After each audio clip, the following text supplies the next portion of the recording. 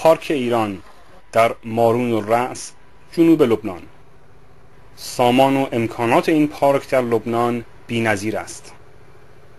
درست بر لب مرز اسرائیل قرار دارد و از جمله امکانات تفریحی این پارک تماشای اسرائیل از نزدیک است. حتی رفت آمدهای ارتش اسرائیل را هم از اینجا می‌توان دید. این پارک را دو سال و نیم پیش محمود احمدی نژاد افتتاح کرد. تنها رئیس جمهور ایران که تصویرش در این پارک نقش بسته. این پارک اما کوچکترین رد پای ایران در بازسازی لبنان جنگ زده است.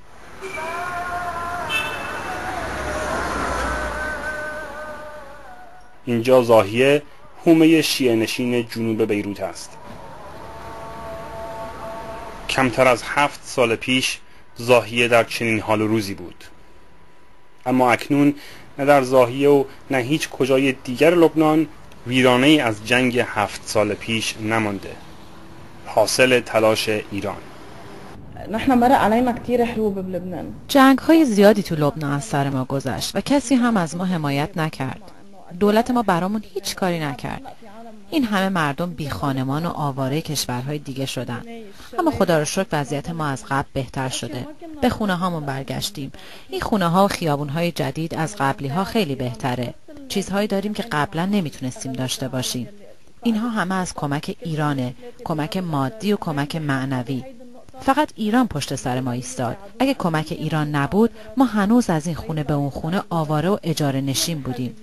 ایران حتی اجاره خونه ما رو هم می‌داد و لوازم زندگی ما رو مهیا می‌کرد. ایران کوشیده فعالیت خود را به مناطق شیعه نشین محدود نکند. اینجا تنورین است در کوهستانهای شمال لبنان. با گواراترین آب در سراسر کشور. این منطقه صد درصد مسیحی نشین است. ایران می‌خواهد اینجا صد بسازد اما سیاستمداران مسیحی مخالف ایران اهالی محل را علیه این اقدام برانگیختند لازم اول شيء انه نحن اول باید بهتون بگم که ما ضد ایرانی نیستیم. برعکس بیشترین احترام را به ایران به عنوان یک امپراتوری و تمدن می‌ذاریم که تاثیر زیادی بر تمدن و فرهنگ و زبان عربی ما گذاشته. مشکل ما با کشور ایران نیست بلکه با اونهایی که در ایران سعی می‌کنن در لبنان دخالت کنند و کل کشور رو تو دستشون بگیرن. ما فکر می‌کنیم که در آینده چنین خواهد شد. ایرانی ها خیلی خوش اومدن. ما ضد ایرانی ها نیستیم اما ما ضد اونهاییم که می‌خوان بیان بافت جمعیتی اینجا رو به هم بریزن. مردم اینجا همه یک دست هستن ولی اونا می‌خوان بیان ما رو مستمره کنن و اینجا رو بخرن و توش ساکن بشن و تعدادشون زیاد بشه تا اینکه ده سال دیگه بشن اکثریت اینجا. به خصوص که پشت این منطقه بلبک و دره بقا هستش که می‌دونیم مردمش چه کسانی هستن. ما می‌خوایم هویت منطقه خودمون رو که کوهستان مارونی هاست حفظ کنیم. ایران می‌خواد این کوههای استراتژیک رو تو دستش بگیره تا به دریای مدیترانه مسلط بشه دریا هم از اینجا فقط 20 کیلومتره. بیان سلاحاشون رو که هزاران کیلومتر برد داره بذارن اینجا. اسلحتون بطال بطال الاف الكيلومترات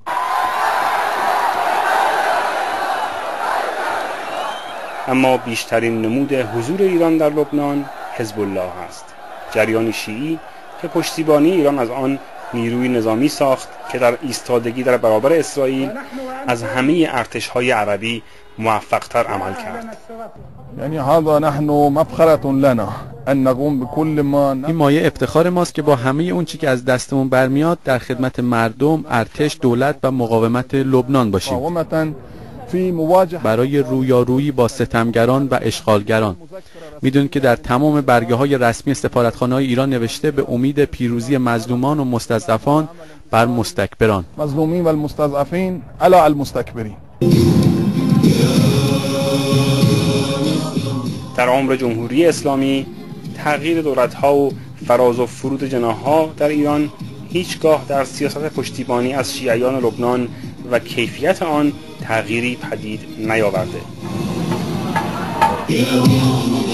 و این یعنی سکان سیاست ایران در لبنان در دستهایی فراتر از آنی است که نامش از صندوقهای انتخاباتی بیرون می آید مهرداد فرهمند بیروت.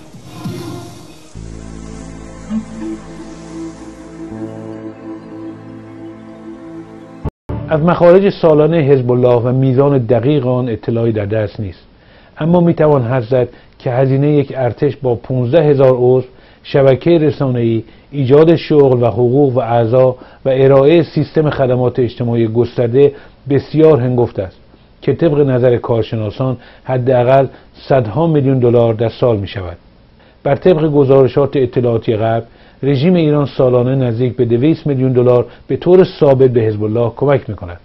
به این میزان باید هزینه تأمین نیازهای نظامی ارتش حزب الله مثل موشک، سلاح و مهمات و هزینه شبکه بینالمللی تروریسم و همچنین مخارج اردوگاه های نظامی حزب الله در سراسر منطقه برای آموزش گروه های مسلح شیعه و همچنین هزینه های پیش بینی نشده مثل بازسازی لبنان پس از جنگ با اسرائیل را نیز باید اضافه کرد.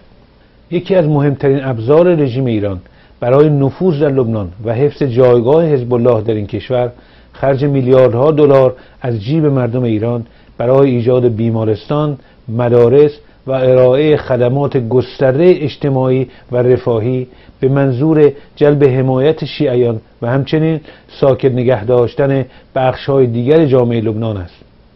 کمک های اجتماعی و رفاهی و بهداشتی رژیم از دو مسیر صورت می‌گیرند.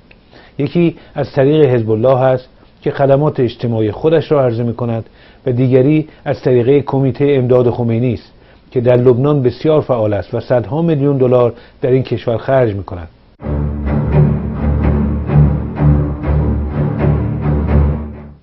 یکی از مهمترین سرویس های اجتماعی حزب الله ارائه یک بیمه بهداشتی مجانی شامل خدمات درمانی و دارو به طور کامل است که اعضا و شبکه هواداران حزب الله و همچنین خانواده های کم درآمد شیعه و سنی هوادار رژیم را تحت پوشش قرار می دهد.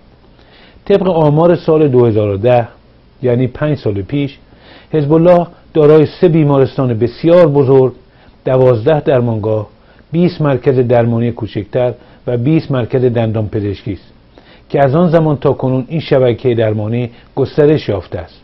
حزب الله دارای دو بیمارستان کاملا مجهز در جنوب بیروت است که برای شبکه اعضا و هواداران و خانواده های آنان کاملا مجانی است. این بیمارستان که بهترین تجهیزات پزشکی و متخصصان را در اختیار دارد برای طبقات کم درآمد لبنانی به ویژه شیعیان مجانی است و بقیه بیماران باید هزینه درمان خود را پرداخت کنند. اما هزینه درمان و دارو در بیمارستان های حزب الله بسیار ارزانتر از بقیه بیمارستان های لبنان است تا بدین ترتیب اخشار مختلف را به سیستم حزب الله جذب کنند. یکی دیگر از خدمات اجتماعی حزب الله شبکه آموزشی گسترده است که در لبنان به راه انداخته است که شامل مهد کودک تا دبیرستان و سپس هنرستان های صنعتی می شود حزب الله دارای دهها مدرسه ابتدایی در سراسر لبنان است که در این مدارس دانش آموزان که اغلب شیعه و بسیاری از آنان از خانواده های وابسته به حزب الله هستند با افکار و ایدئولوژی حزب الله و رژیم ایران آموزش داده می شوند که دشمنی با اسرائیل جنگ با آمریکا و دفاع از ولایت فقیه بخش مهم آن است کلاس های تعلیمات دینی عموما توسط آخوندهایی که در ایران آموزش دیدند و مرید خامنه ای هستند تدریس می شوند. هدف رژیم از راه اندازی این مدارس تربیت نسل جدید و جوانی است که به ولایت فقیه و ایدولوژی رژیم وفادار باشد و بتواند صفوف حزب الله را پر کند. حزب الله همچنین 35 کالج و هنرستان صنعتی در جنوب لبنان و مناطق شیعه نشین ایجاد کرده است.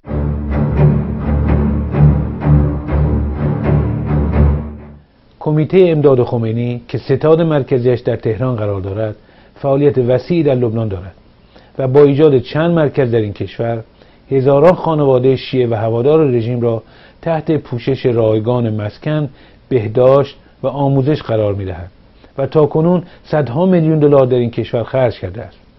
این یکی از فیلم های تبلیغاتی کمیته امداد است که فعالیت های سالانه را گزارش می کند کمیته امداد برای خانواده های تحت پوشش مسکن مجانی فراهم می کند و در مجموع هزاران خانواده را صاحب مسکن کرده است. کمیته امداد کودکان تحت پوشش را در مدارس وابسته به خود به طور مجانی ثبت نام می کند و کلیه مخارج تحصیل رفت آمد و حتی لباس و غذای آنها را فراهم می کند بسیاری از این دانش آموزان که از مناطق دورتر می آیند به طور کامل و به صورت مجانی در پانسیون هستند. کمیته امداد دارای هنرستان صنعتی و مراکز آموزش تخصصی نیز هست تا نوجوانان تحت آموزش قرار گیرند. کمیته امداد به خانواده های تحت پوشش کمک هزینه ماهانه مالی بلاعوض می دهد و در صورت نیاز وام بدون بهره نیز در اختیار آنان قرار می دهد. کمیته امتاد مراکزی در سراسر لبنان دایر کرده که خانواده های تحت پوشش با مراجعه به آنان می توانند لباس، مواد غذایی و دیگر اقلام مورد نیاز خود را به صورت مجانی دریافت کنند. کمیته ما برای خانواده های تحت پوشش خود درمان و بهداشت کاملا رایگان فراهم می کند و آنها را در مراکز درمانی وابسته به خود که با آخرین تکنولوژی و تجهیزات پزشکی و بهترین پزشکان مجهز است تحت درمان قرار می دهد. کمیته امداد چندین مرکز نگهداری و سرپرستی از سالمندان ایجاد کرده است و با بهترین امکانات و پرسنل و بودجه کافی به خانواده های تحت پوشش خدمات ارائه می کند. کمیته امداد همچنین برای کودکان عقب افتاده نیز مراکز آموزشی و سرپرستی ایجاد کرده است. کمیته امداد چندین یتیم خانه نیز دایر کرده است و کودکان یتیم را به طور کامل تحت سرپرستی قرار می دهد. یکی دیگر از مؤسسات رژیم در لبنان جهاد سازندگی است که در سال 1988 تأسیس شد و به صورت رایگان کارهای عمرانی مثل لوله کشی، جاده سازی، کارهای کشاورزی را در مناطق شیعه به ویژه در مناطق تحت تسلط حزب الله انجام می‌دهد. در سال 2005 حزب الله با حمایت سوریه نخست وزیر محبوب لبنان رفیق حریری که صدی در مقابل نفوذ رژیم در این کشور بود را در یک عملیات بمبگذاری به قتل رساند و در نتیجه حزب الله در میان افکار عمومی لبنان در وضعیت دشواری قرار گرفت. یک سال بعد در 2006 حزب الله یک جنگ با اسرائیل به راه انداخت تا با ایجاد فضای جنگی و معرفی خودش به عنوان گروه مبارز ضد اسرائیلی بتواند آثار منفی نقش خود در قتل رفیق حریری را به فراموشی بسپارد. این جنگ که به جنگ تموز معروف است 12 جولای 2006 با حمله نیروهای حزب الله به یک کاروان نظامی اسرائیل در داخل خاک اسرائیل و در منطقه مرزی شروع شد که طی آن حزب الله چند سرباز اسرائیلی را کش و دو نفر از آنان را اسیر کرد و با خود به لبنان برد. اسرائیل به صورت تمام ایار به لبنان حمله کرد و این جنگ 33 روز طول کشید. جنگی که باعث نابودی بخشای مهمی از لبنان شد. و به ویژه جنوب لبنان را به ویرانه تبدیل کرد. در نتیجه از آنجا که حزب الله مسئول شروع جنگ بود نزد افکار عمومی لبنان به شدت تحت فشار قرار گرفت. یکی از اهداف اصلیشون این بود که حالا مردم جنگ هم که هر وقت تموم شد بالاخره بیان بگن سر ویرانه ها کار باید بکنن و اینا فشار شدید رو علیه در واقع مخصوصا حزب الله خواهند بود که مسبب اصلی این هست. رژیم ایران برای نجات حزب الله از این موقعیت دست به کار شد. و با اعزام یک هیئت دولتی از تهران کلیه مخارج بازسازی لبنان که میلیاردها دلار می‌شد را به عهده گرفت. رژیم یکی از فرماندهان سپاه قدس به نام حسن شاطری که در لبنان به حسام خوشنویس معروف است را مسئول بازسازی لبنان کرد. بعد از حرب تموز 2006 با حضور معاون اجرایی رئیس جمهور کشورمون و در صدر یک هیئت بلند پایه که به لبنان آمدند ضمن اعلام مراتب همدردی ملت و دولت ایران به دولت و ملت لبنان در همون جلسه نماینده رسمی و تامل اختیار خودشون رو معرفی کردند. و هدف تشکیل این هیئت کمک در بازسازی خرابی های ناشی از جنگ تموز 2006 شاتری در فوریه 2013 در سوریه به قتل رسید. شاتری برای بازسازی و خرابی های لبنان با در اختیار داشتن بودجه نامحدود با گشاده دستی مشغول به کار شد. شهید خیلی عجیب بود.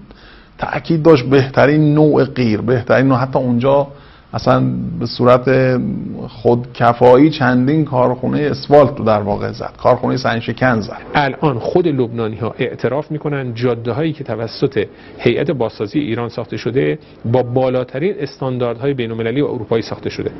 با هم بخشهایی از گزارش تلویزیون رژیم درباره بازسازی لبنان با پول مردم ایران را نگاه کنید. بازسازی خرابی جنگی که خود رژیم مسئول شروع آن بود.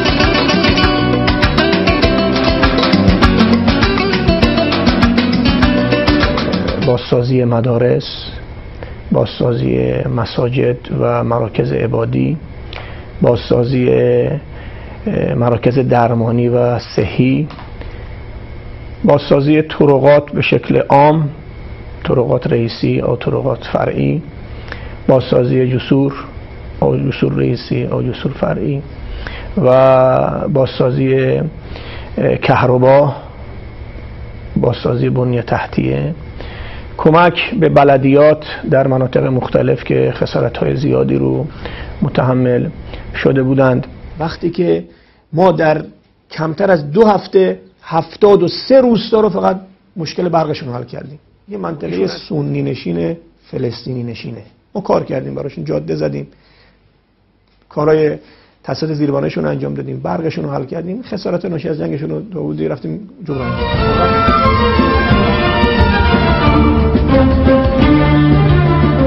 شون گفت که ما در 9 اکتبر 2006 مدارس لبنانی بازگشایی میشه و الان من نگران این هستم که مدارس ما اگر باز بشه بیش از 300 مدرسه ما تخریب شده نمی‌دونیم به چه شکلی بهشون برسیم که ما همونجا با ایشون توافق کردیم و کار اجرایمون رو شروع کردیم. در 9 اکتبر دعوت کردیم از ایشون بیاد برای افتتاح 45 مدرسه بازسازی شده توسط جمهوری اسلامی یعنی به فاصله 45 روز در زاهیه جنوبی به آمار بخشی از کارهای انجام شده توسط شاطری نگاه کنیم.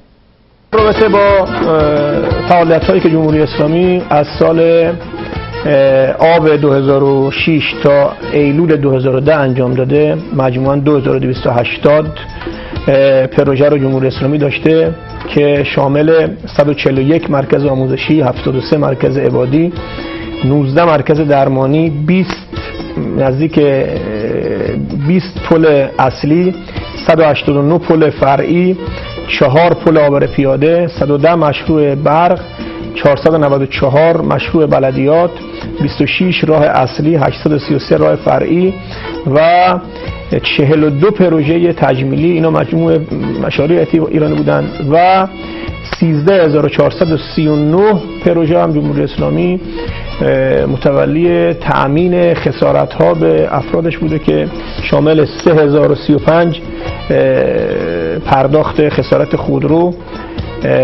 2200 خسارت اخشام و 8000 مورد خسارت زمین های زراعی در مناطق مختلف بدون در نظر گرفتن مناطق شیعی سنی مسیحی.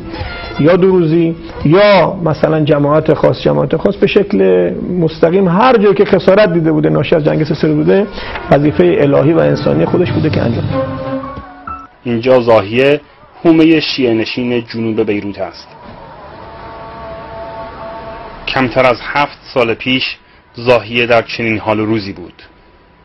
اما اکنون نه در زاهیه و نه هیچ کجای دیگر لبنان ویرانه از جنگ هفت سال پیش نمانده. حاصل تلاش ایران. نحن مرق علينا كثير حروب بلبنان. جنگ های زیادی تو لبنان از سر ما گذشت و کسی هم از ما حمایت نکرد. دولت ما برامون هیچ کاری نکرد. این همه مردم بی خانمان و آواره کشورهای دیگه شدن. اما خدا رو شکر وضعیت ما از قبل بهتر شده. به خونه هامون برگشتیم. این خونه ها و خیابون های جدید از قبلی ها خیلی بهتره. چیزهایی داریم که قبلا نمی‌تونستیم داشته باشیم. اینها همه از کمک ایرانه کمک مادی و کمک معنوی. فقط ایران پشت سر ما ایستاد. اگه کمک ایران نبود ما هنوز از این خونه به اون خونه آواره و اجاره نشین بودیم. ایران حتی اجاره خونه ما رو هم می‌داد و لوازم زندگی ما رو مهیا می‌کرد. وقتی یکی از چهرههای نظامی در سوریه کشته شد من سراغ آقای شیخ الاسلام رفتم تا علت کشته شدن این فرمانده نظامی رو جویا بشم. آقای شیخ الاسلام برای دفاع از علت حضور این فرمانده نظامی در سوریه و لبنان به مسئله بازسازی لبنان توسط مسئولان جمهوری اسلامی اشاره کرد. ایشون مسئول بازسازی لبنان بود. ولی مشکل اصلیشون این بود که وقتی اسرائیل زاهیه رو با خاک یکسان کرد آمد و با توانایی های جمهوری اسلامی ایران الان شما تشریف بزنید زاهیه زاهیه مثل یکی از جاهای اروپایی شده. بازسازی کرد زاهیه رو. تمام ساختمان ها اصلا با خاک یکسان شده بود. همه رو از نو ساختن. اونم با فرهنگ لبنانی ها خانم. من نمی‌دونم شما فرهنگ آشنا هستین یا نه. مثلا فرض کنید که دو تا خانواده اصرار داشت. می‌گفت ببین پنجره اون خانواده پنجره آشپزخونهش مقابل پنجره من بود. من هر وقت می‌خواستم آشپزی کنم اونم سر زور با همدیگه صحبت می‌کرد نتیجه گشاده دستی و صرف میلیاردها دلار از جیب مردم ایران برای بازسازی لبنان نیز کاملا روشن است. من فکر نمی کنم هیچ کس به این اندازه توانسته تبلیغ مذهب کند. اون وقت شما باید می‌رفتین جنوب لبنان می‌دیدید. مسیحی ها برای کمتر شهیدی می آیند در کلیساهای خودشون در مناطق خودشون مجلس بگیرند تمام مذاهب و ادیانی که در جنوب وجود داشتن برای شهید شاتری مراسم گرفتن. یعنی بدون در نظر گرفتن اینی که این شیعه است این مسلمانه برید ببینید ما اقداماتی کردیم و کاری کردیم چه تبعات و تاثیراتی رو مردم اونجا داشته انقلاب رو چه جوری شناختن یعنی وقتی که پیش جریان هایی که دیده اونها نسبت به مقاومت و جمهوری اسلامی ایران دیدی کاملا موافق هم نبود وقتی می‌رفتیم. اقداماتی که توسط جمهوری اسلامی ایران صورت گرفت و این ستاد بازسازی و این شهید عزیز خیلی تاثیر داشت در جهت گسترش وقت. یعنی خیلی یعنی یک کمک قوی بود برای ما که وقتی تبیین می‌کردیم اصول قانون اساسی جمهوری اسلامی رو بعد می‌خواستیم مستاقی بگیم ما اقدام مستاقیشون این کاری که الان ستاد بازسازی انجام داد. به اظهارات یکی از مسئولین حزب الله گوش کنیم. که به دستور خامنه ای برای اختصاص بودجه برای بازسازی لبنان اشاره میکند S'agissant de l'argent qui parvient directement au Hezbollah, il nous arrive dans le cadre d'une disposition particulière de la loi coranique, que nous appelons le Homs dans la communauté chiite. Dans la situation actuelle, la direction religieuse des chiites, représentée par l'ayatollah Khamenei, non pas en tant que chef d'État iranien, mais comme leader des chiites à travers le monde, a réservé une grande partie de l'argent que les croyants lui donnent pour la reconstruction du Liban. خرج چو از کیسه مهمان بود حاتم تایی شدن آسان بود. یعنی برای رژیم خرج کردن از جیب مردم ایران هیچ مسئله ای نیست. حال باید پرسید به چه دلیل باید پول مردم ایران خرج لبنان و حزب الله شود و مردم ایران در فقر و فلاکت به سر ببرند؟ پاسخ به این سوال را خامنه ای داده است. اولین درسی که انقلاب اسلامی و نظام مبارک جمهوری اسلامی به ما داد این بود که ما نگاهمون را از حصار و چهار دیواری ملت ایران منعطف کنیم به عرصه وسیع امت اسلامی. درست است که کشور ایران در زیر فشار استبداد و استعمار در دوران تاغوت به جان آمده بود و له می‌شد و باید نجات داده می‌شد. اما فشار اساسی تهاجم اساسی تهاجم تاریخی به امت اسلام بود. امت بزرگ اسلامی که در یکی از حساسترین نقاط جغرافیایی عالم استقرار داشته است بر اثر دخالت قدرت های بزرگ ورزی دولت های بزرگ و مقتدر تجاوز و تعدی استکبار در طول چند قرن دچار ضعف انکسار عقب ماندگی استعمار زدگی فقر دچار چنین بلیات سختی بود. انقلاب اسلامی نگاهش به برداشتن دست ظالم و متجاوز استکبار از روی سر امت اسلامی و از زندگی امت اسلامی بود. بگد که یال المسلمین ما موظفیم که به درد اونا برسیم. اول می‌تونیم. کسی که یک مسلمی فریاد زد که به داد ما برسید و نرد سراغش فکر او نباشد. چون مردم لبنان مردم عزیزی هند مردم ستم دیدند مردم رنج دیدند مردم مردمی هستند که ایستادگی کردند مقاومت کردند. در مقابل قلدوری ها و زورگویی های استکبار جهانی از طرف رژیم پوشالی صهیونیسم هیچ وقت عرصه رو خالی نکردند. لذا این مردم عزیزند. این مردم محترمند. این مردم قابل احترامند. لذا اگر ما شعار خودمون رو نوشتیم فی خدمت شب لبنانی این رو برای تبلیغ ننوشتیم برای اعلام ننوشتیم. ما این رو اون مکنونات قلبی خودمون هست که اعلام کردیم. چون واقعا این مردم در خور احترامن در خور شعن و کرامتن. مایه افتخار ماست که با همه اون چی که از دستمون برمیاد در خدمت مردم، ارتش، دولت و مقاومت لبنان باشیم.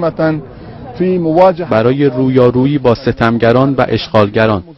میدون که در تمام برگه های رسمی سفارتخانه های ایران نوشته به امید پیروزی مظلومان و مستضعفان بر مستکبران.